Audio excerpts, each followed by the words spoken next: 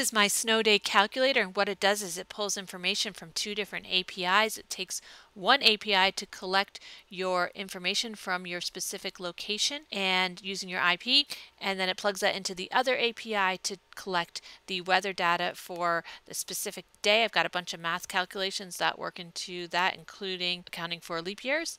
And basically what it does is I click on will there be a snow day tomorrow. It does a bunch of calculations. Uh, down here what it's doing is it's pulling that weather data and it's considering the precipitation and the um, intensity of the precipitation, the temperature and things like that and it will return a result for my specific location. And for this location it is 0% chance of a snow day but if it were to be a snow day tomorrow, if it was a 100% chance this would show up.